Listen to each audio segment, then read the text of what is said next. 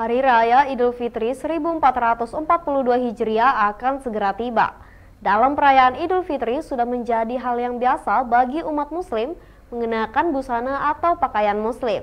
Dan menjelang lebaran ini, omset penjualan baju muslim meningkat.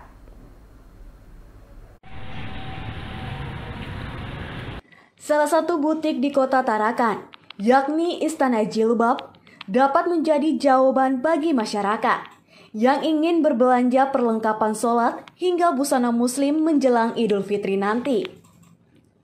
Butik ini menjual berbagai ragam perlengkapan dan busana umat muslim, seperti mukena, sejadah, tasbih, peci, hingga pakaian muslim. Harga jual yang ditawarkan juga masih tergolong murah, sesuai dengan model dan kualitas barang. Kan kalau bahan yang kayak gini dia setiap hari itu biasanya 600 ribu. Kalau yang bahannya sunboss yang berbordir itu 250 kalau yang parasit itu 50 ada juga yang anak-anak. Peningkatannya bisa sekitar berapa persen? 20 persen. Oh 20 persen ya. Tiga hari menjelang lebaran, butik Istana Jilbab mengalami peningkatan omset hingga 20% dibandingkan tahun sebelumnya.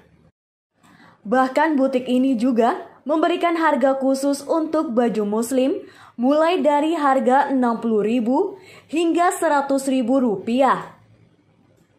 Jubaida Azara, Ekuator TV